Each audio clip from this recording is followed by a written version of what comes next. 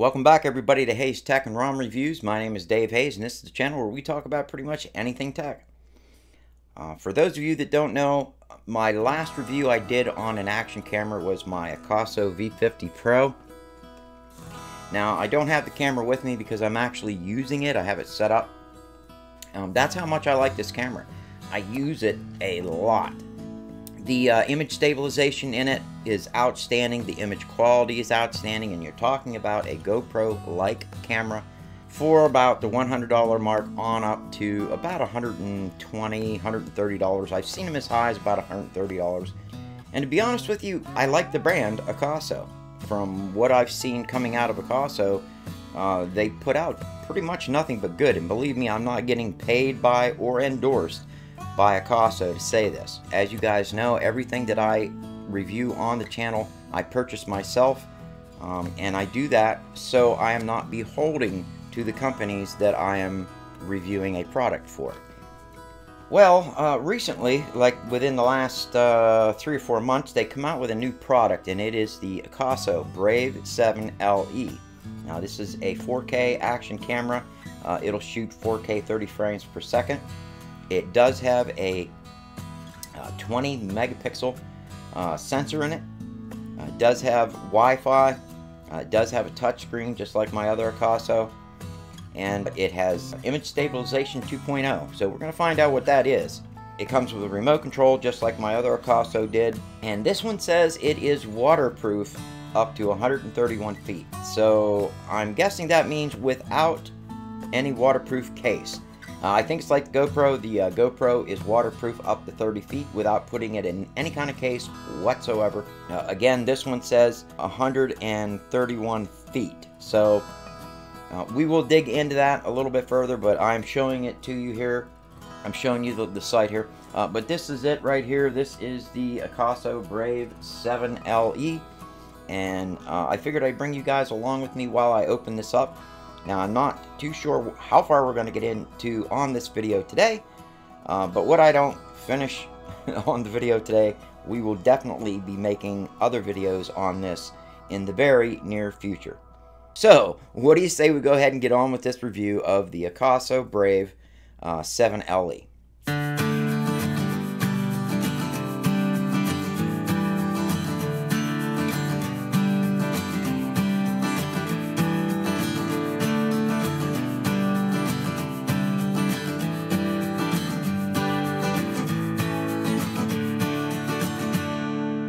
as always, if you liked my video, don't forget to hit that like button and share my videos. It really helps me out.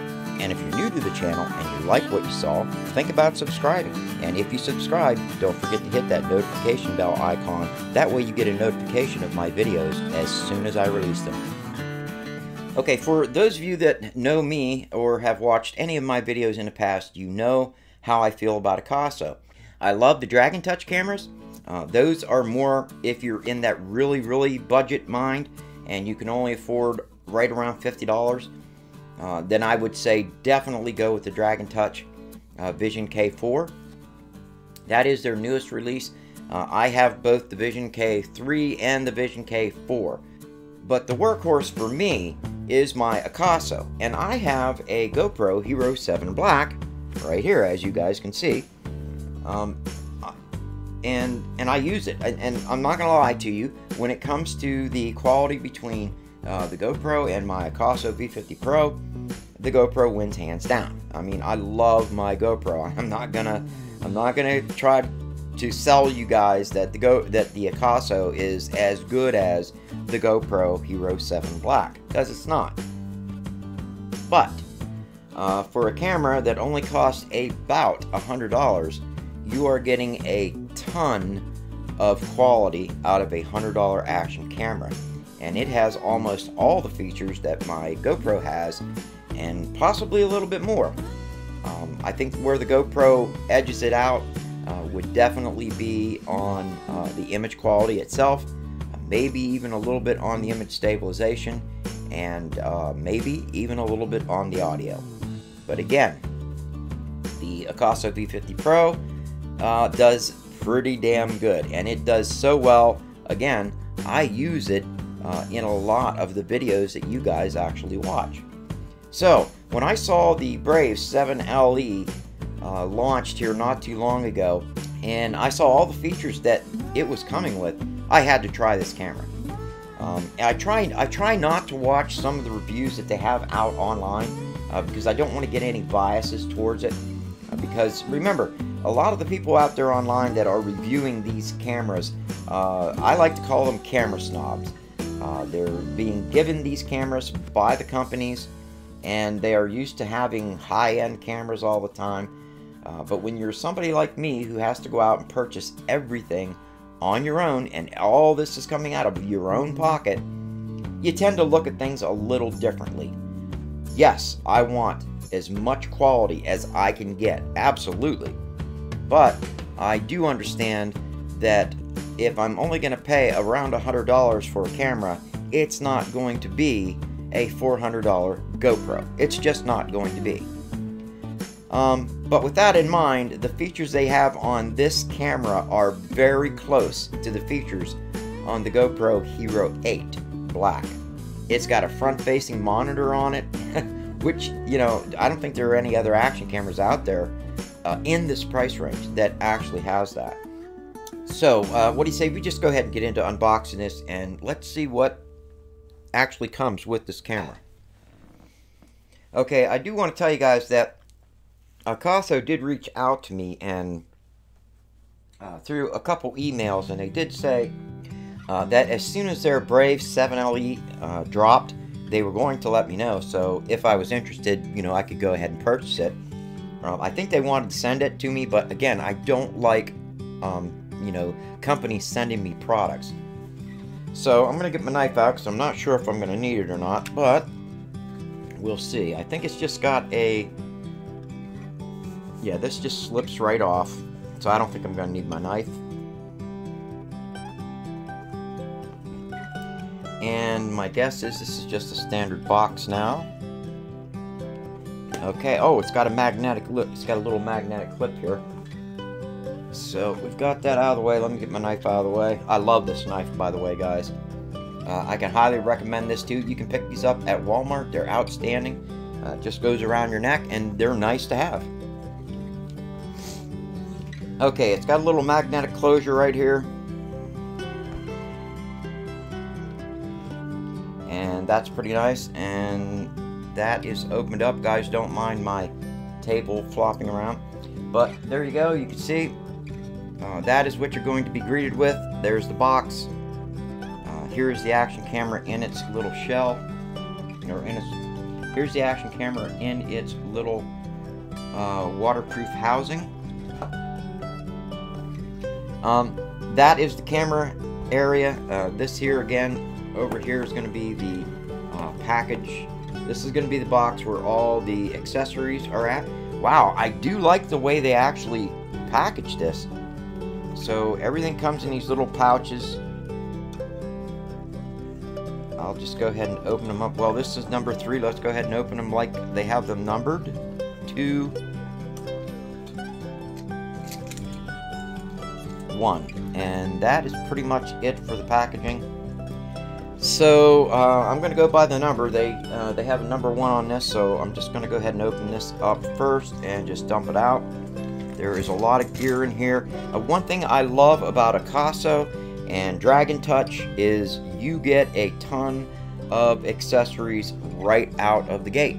With GoPro, come on GoPro, um, we're spending three times the amount that we're spending on your product uh, that we are on the Akaso, and they're giving us way more in uh, attachments. These things here, they don't cost you hardly anything. This stuff you guys should be including with your cameras, especially the amount of money we're paying to be able to own one of your cameras.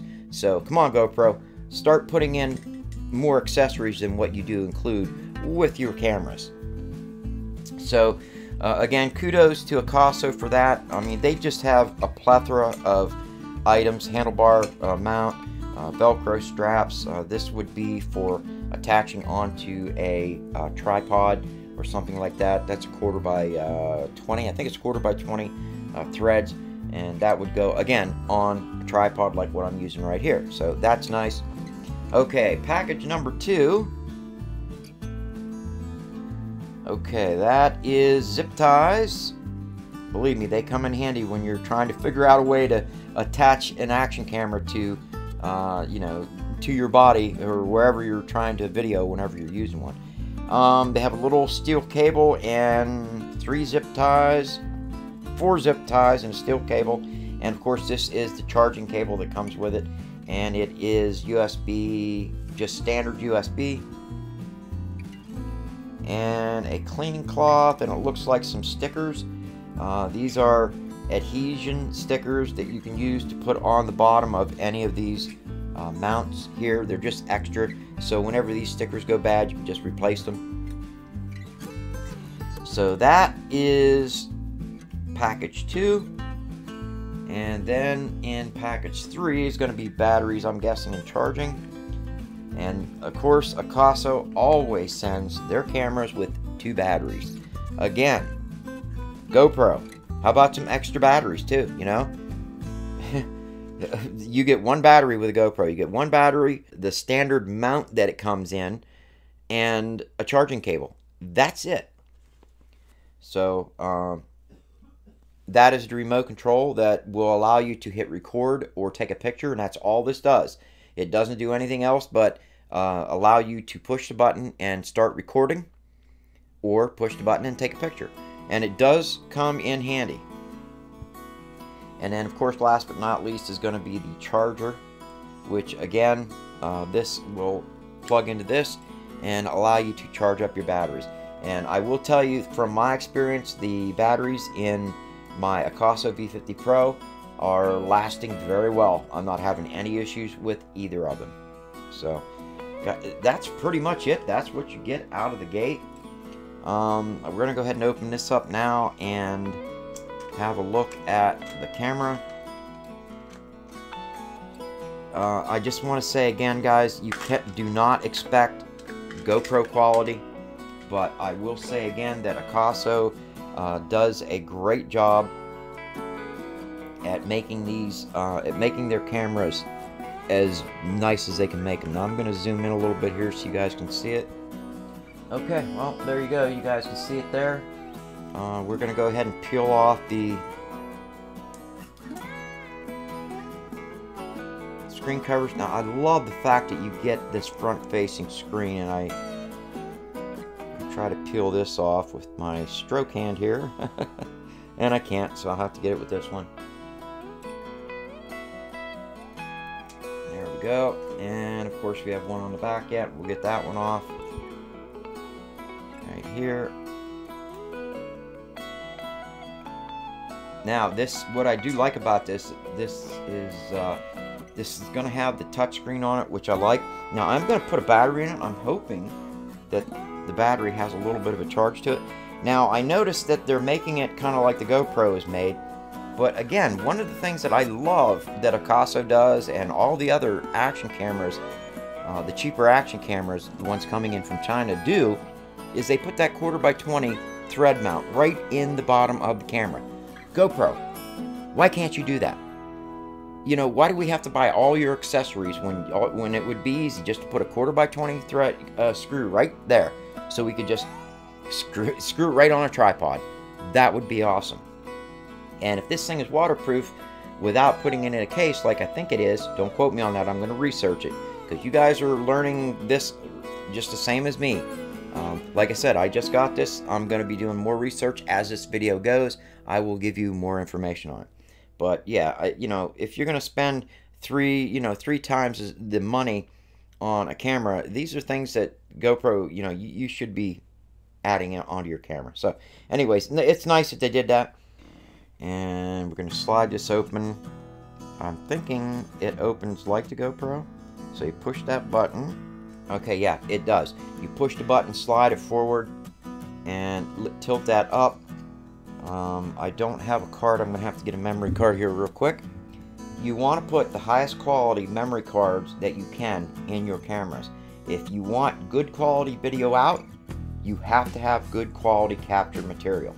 So they make these memory cards in all different kinds, from super cheap to fairly expensive. I would spend the extra money and get the expensive ones because they will uh, give you better video quality. Now, I think one of the reasons they moved it to the inside like that, as opposed to having it on the outside, is because, yeah, it's supposed to have a fairly waterproof case without having to actually put it in this waterproof case, you know, that it comes with. So, I'm going to see if there's any battery in it. So, let me try to power it up if I remember which one it is. There it goes. And it it's three quarters of a battery. So, that's awesome. I'm gonna hit the record button. I hope this is the record button. Okay, so we are now recording on the Akaso, um, and this is what you can expect indoors under some really good lighting. Um, I will be doing another video. Eventually, this video has gone way too long as it is, but I'll be taking it outside. I'll be going through all the features. I'll be showing you how to use that front screen on this, and um, uh, you're you're seeing what it looks like because I can't even see it right now. So. Uh, hopefully it looks pretty good. Uh, I'll have to wait and see what it looks like in editing. Um, so let's go ahead and get on with the video. Uh, now after I did a little bit of research, I did figure out how to switch from the back camera to the front camera. Uh, as you guys can see right now, it is showing front camera and all you have to do is press the M button on the top. Press and hold it for a couple seconds, you'll hear a beep. And that switches to the back. Now you can't run both views at the same time. You can only run one. So you press it until it beeps and it switches to the front view. Now I'm not sure if the front view is touch control or not. No, so there are no touch settings on the front of the camera. But I mean, it's nice. It gives you at least something to frame up your shot, you know, so you can see yourself. I'm going to go ahead and hit record again. Uh, record button is the one furthest to the outside. And there you go. And now I'm recording it and I can actually uh, frame myself. So uh, that's pretty much all I wanted to add into this video. Let's go ahead and get back to the main video. Okay, so here we are uh, outside doing a quick vlogging test. Uh, I do have image stabilization on and I'm shooting in 2.7K, 60 frames per second. Uh, so we're going to see how the image stabilization holds up um, at 60 frames per second. I'm not going to do a full video demonstration uh, for you guys on this video. That will be the next video. I will go through each one of the uh, video shooting modes. We'll, we'll, we'll start out with 4K 30, then we'll go 2.7K, both 60 and 30, and then I will drop down to 1080p and we'll do all of the ranges in 1080p. And uh, this does go to 120 frames in 1080p, so hopefully it's a little smoother than my other Akaso. Uh, I will say I like the idea that it has a front screen on it because it does uh, give you that ability to frame yourself and know uh, if you're in frame all the time. Um, and this is what the audio sounds like on this action camera outside. So audio test one, two, three, audio test one, two, three. Now, if the audio sounds pretty decent, I'm just gonna go ahead and use it throughout the whole demonstration uh, of me being here outside testing the camera. Uh, but if it's not that good, I'm just gonna go ahead and stick with the audio from my Zoom uh, H1N uh, and of course my Sony lapel mic. So this concludes the quick video test I wanted to do outside real quick and I'm going to go ahead and slow this down and do a spin.